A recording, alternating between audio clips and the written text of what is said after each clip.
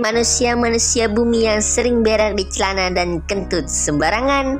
Sebelum kita mulai filmnya, kita pantun dulu ya bos. Jalan-jalan ke arah Joglo, pulangnya lewat Bandar Gebang. Kalau ada anaknya yang jomblo, bilangin ya po sama abang. Saya akan menerima tantangan dari subscriber Ibnu Abbas dari Kalimantan Timur untuk membahas film The Farm yang rilis di tahun 2018 yang mengisahkan tentang peternakan tapi manusia. Dan sang peternak adalah hewan. Lah kok gitu? Alhasil para manusia ini jadi santapan para hewan yang juga sebenarnya manusia. Tapi manusia psikopat ya kanibal. Oke, tanpa banyak bacot kita langsung aja saksikan filmnya ya guys ya. Let's go.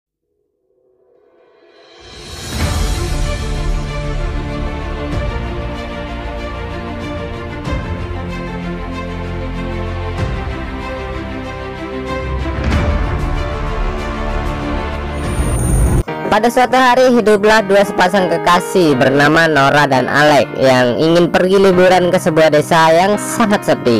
Namun di tengah jalan Nora kebelet pipis karena nggak nemu pom bensin. Mereka akhirnya berhenti di warteg yang tutup.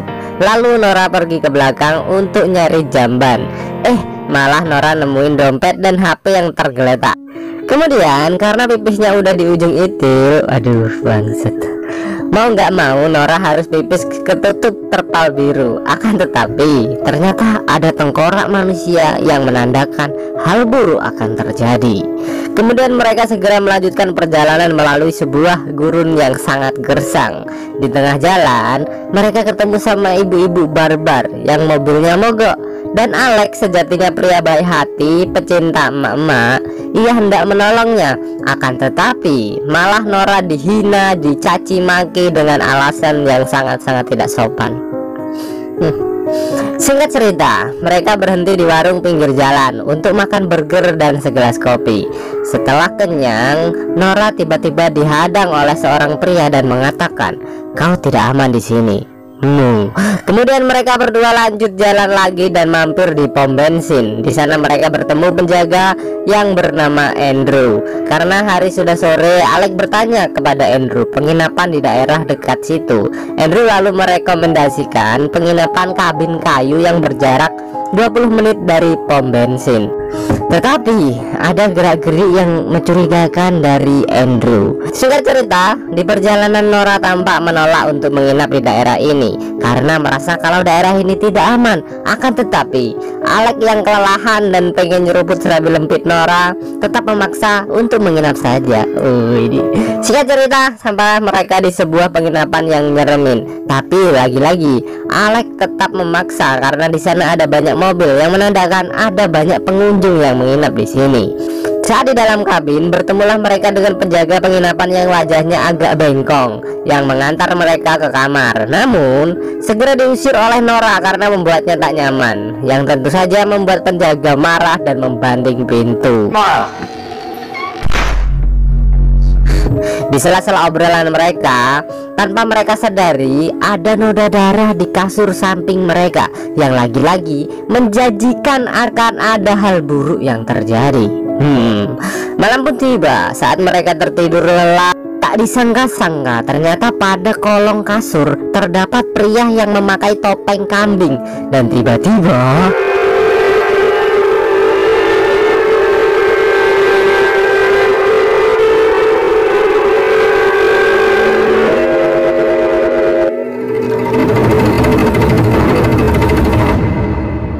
Nora sudah berada di dalam kandang di tengah-tengah bangunan setengah jadi. Lalu Nora dibius dan dibawa ke sebuah ruangan untuk menyuntikkan peju sapi ke dalam serabi lempit Nora. Seketika Nora pun langsung lemes tak berdaya. Waduh.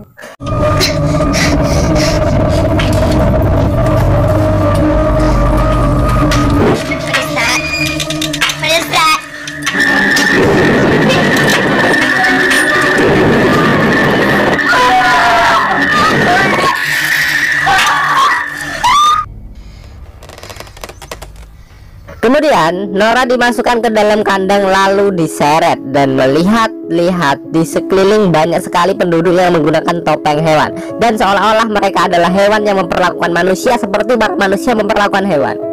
Bahkan ada manusia yang lagi dicacah di pinggir jalan. Waduh. Lalu Nora dibawa ke sebuah kandang kuda dan dikunci dari luar. Di sisi lain, ternyata Alex juga berada di dalam kandang bareng para laki-laki lainnya yang diduga hasil pengunjung kabin tadi. Berarti mobil yang tadi banyak adalah mobil dari para korban ini. Kemudian muncullah tiga orang yang memakai topeng lalu membuka salah satu kandang dan memukul kelapa pria tersebut hingga pecah. Alek pun tak luput kelapanya ikut digetok pakai palu. Kemudian mereka dibawa ke ruangan pemotong Lalu si pria bertopeng babi Dibagikan daging yang berasal dari potongan tangan manusia Waduh. Setelahnya dia pulang dan bertemu para penduduk peternakan yang memakai topeng, tapi tak satu pun dari mereka yang berbicara satu sama lain.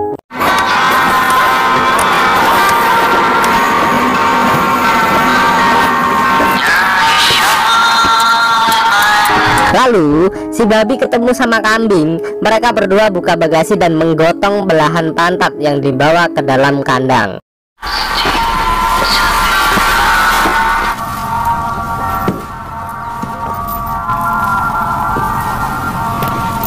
Kemudian si babi ketemu sama penjaga kabin. Rupanya penjaga kabin ini merupakan bos dari peternakan tersebut. Si bos menanyakan tentang ketersediaan daging untuk pesanan malam nanti. Loh kok mereka lalu pergi ke dapur dan mengingatkan para koki Untuk menyajikan masakan yang lezat yang berasal dari daging you know lah daging manusia Kemudian si bos mendatangi kandang yang lain yang berisi para ciwi-ciwi yang dikurung di dalam kandang. Dan pentilnya disedot diambil susu dong. Ya ampun kasihan sini tak kenyat waduh Lalu si babi melihat salah satu cewek yang melahirkan tanpa babi bacot ngecrot bayinya dibanting dan dimasukkan ke tong sampah Singkat cerita, muncullah Andrew yang sepertinya mengalami cacat mental dan marah-marah sendiri. Di sisi lain, si bos dan ditemani si babi mendapatkan komplain sama klien karena menemukan gigi di dalam makanannya. Waduh, dikasih dong.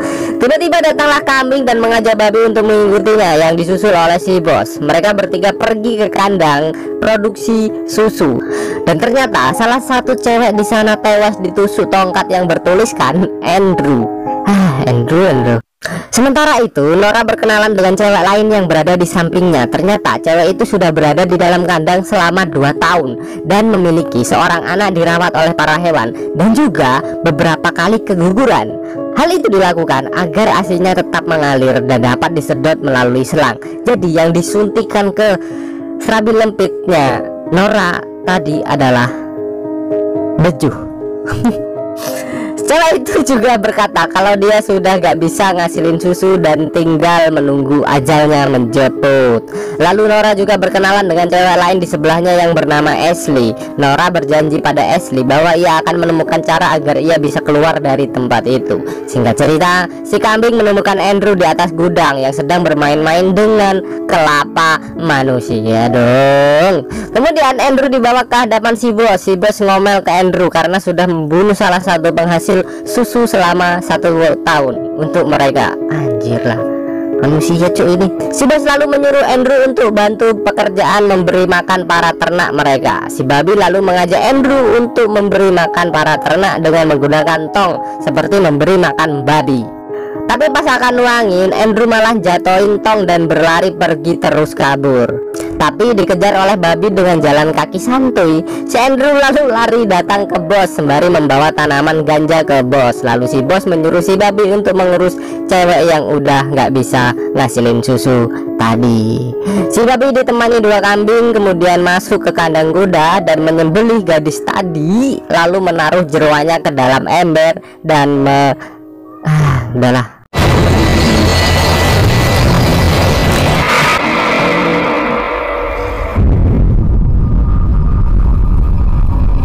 Nora yang melihat kejadian ini langsung ketakutan dan semakin membulatkan tekadnya untuk kabur dari tempat itu. Tiba-tiba pintu kandang Nora terbuka, tetapi rupanya itu adalah Alex yang entah dari mana mengetahui kalau itu adalah kandang Nora dan bagaimana juga Alex bisa mendapatkan baju lalu bisa selamat dari ruangan penjagalan. Loh, loh, loh. Alex dan Nora kemudian kabur mencuri truk, tapi sialnya truk nggak bisa hidup karena mogok lalu melanjutkan kabur dan masuk ke sebuah gereja. Dan konyolnya lukisan Yesus digambarkan sebagai waduh parah sih ini film sumpah Digambarkan menggunakan topeng hewan juga. Tiba-tiba datanglah si sapi yang hendak berdoa dan sontak membuat mereka segera kabur berlari keluar. Tetapi malah kaki Alek kegencet jebakan serigala. Si Nora yang awalnya setia dan pernah mengatakan rela mati demi Alek, akhirnya dengan rela meninggalkan Alek sendirian. Kasihan dong. Dan harus digeprek kepalanya mata batu besar. Aduh, aduh.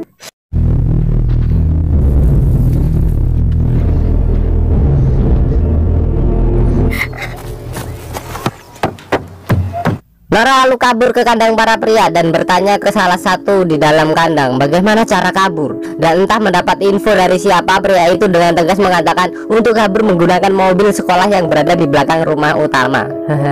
Nora kemudian segera kabur ke parkiran dan menghajar salah satu kelinci dengan palu.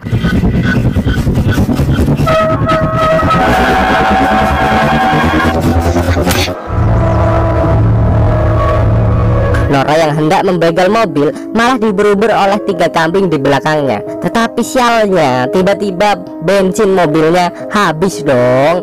Dan sontak membuat Nora kabur ke dalam dapur yang berisi belasan koki. Tapi nggak ada yang peduli sama Nora. Nora di sini sempat ketangkep, tapi untungnya barang yang ia curi di gereja berguna untuk nusuk tangan sapi.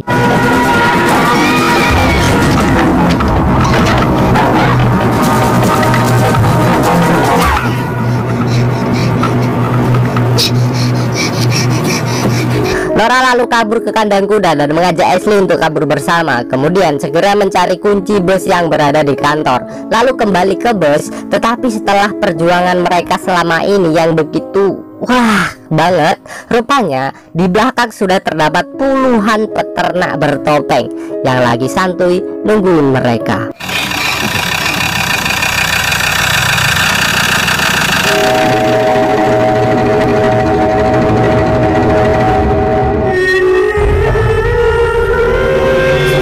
Film pun ditutup dengan para gadis tadi yang telah menjadi manusia guling kecap manis. Lalu, tamat ending yang sangat-sangat mengerikan ya bung. Oke lah bre filmnya udah ya. Jujur ya saya baru pertama nonton film ini dan begitu dibuat eh, biasa aja entah kenapa jiwa psikopat saya kurang dibangunkan di film ini. Apa mungkin karena film ini menceritakan tentang kejamnya manusia sama hewan? Tapi dibalik sekarang menjadi kejamnya manusia ke hewan gitulah oh entahlah. Tanyakan pada rumput yang bergoyang. So buat kalian yang udah bayar parkir saya doakan di bawah. Makin panjang makin besar dan darurat ya kan assalam baru baru